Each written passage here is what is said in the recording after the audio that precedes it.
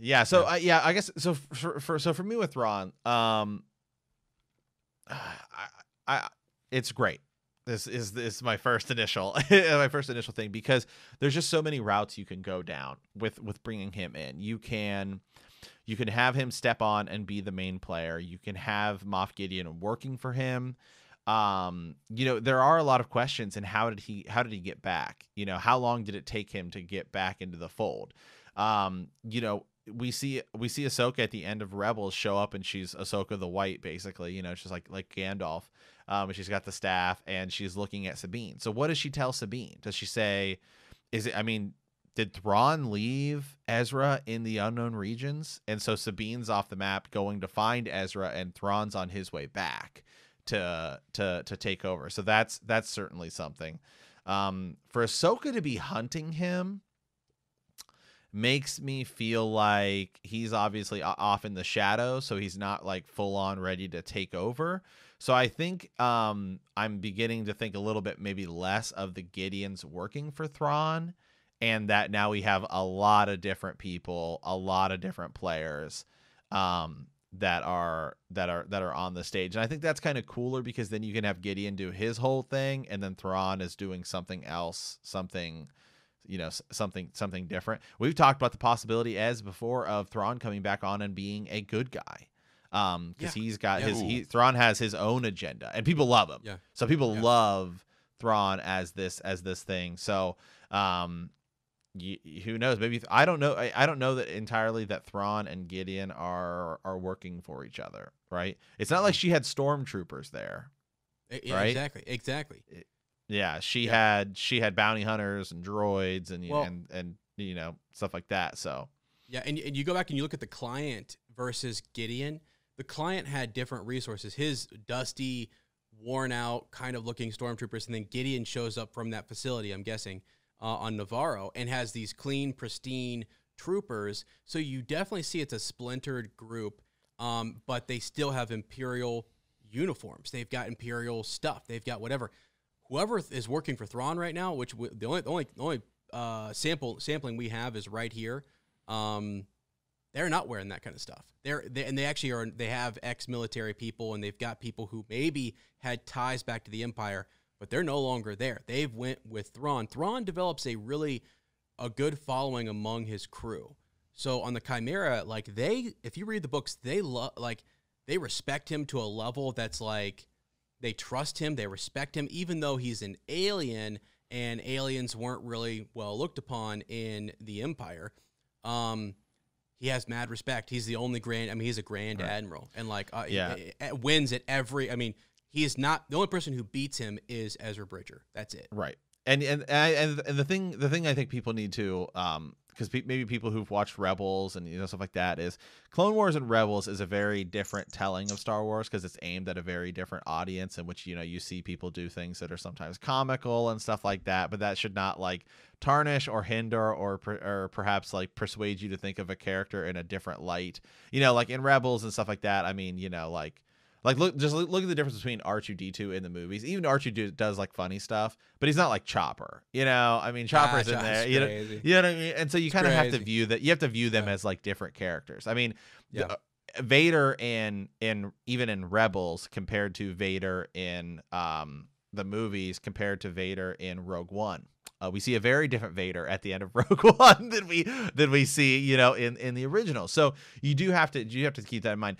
Um, Thrawn is without question the ultimate tactician. He is the he is the ultimate general, the ultimate field commander.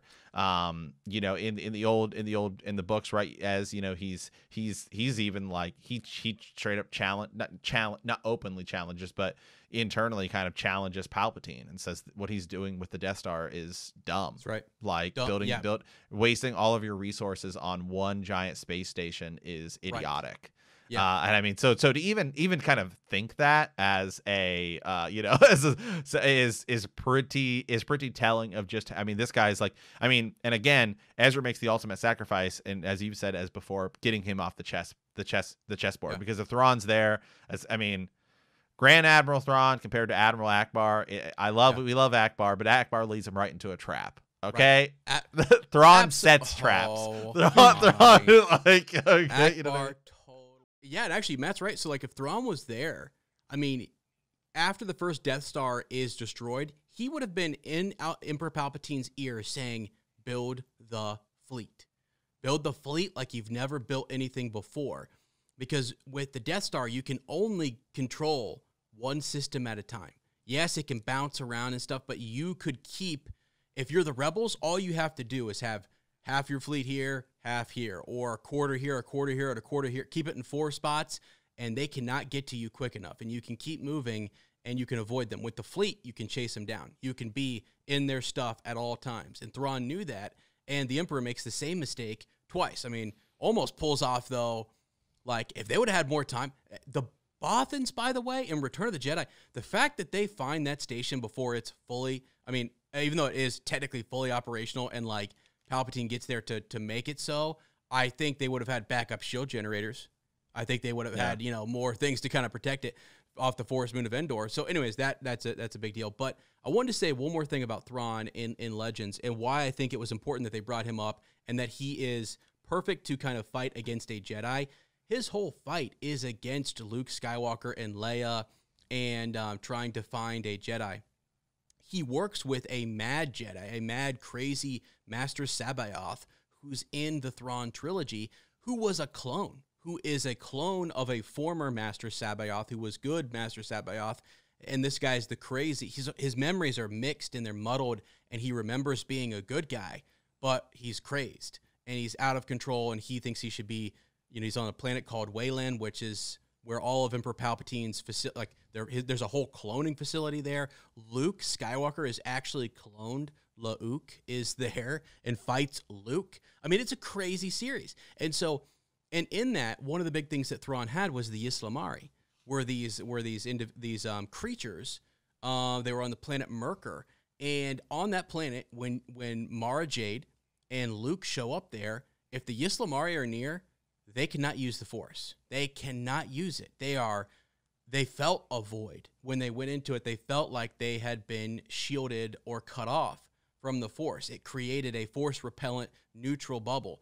If Thrawn has a couple of those bad boys on his shoulder, and by the way, in the books, he legitimately has a backpack created. They're just sort of like these creatures. They didn't move much. They're just like lazy lizards that just hung out in trees and chilled. But he had them chilling on his back. He put one in a backpack and he walked around with a freaking lizard on his on his shoulders and he could fight Jedi. I'm like this this guy and he does it because he knows he has the advantage and he had the element of surprise for Jedi who didn't know that he had that. I mean, he knew it and they didn't know it. And so Yeah. it's cool little cool little interesting. Look at the deep thing. cut. Look at the deep cuts that Ez is. Dude, uh, I've been waiting for this for a long time. I've been waiting for them to bring Thrawn in full bore. Let's go, you know? Ez is like Oh a freaking God. butcher. Ez like a butcher over here today. Just all these. I, all these I feel like cuts, this is what it, this is probably what it's like to sit in a room with uh, Dave Filoni and Jon Favreau. Probably is how I'm feeling Oh, right no, now. No, no, no, no, no. When I hear Dave Filoni, I go, oh, oh. Like, I'm like, I love Uh, Again those with the. Ewok reference, right? I, there. right? I can't help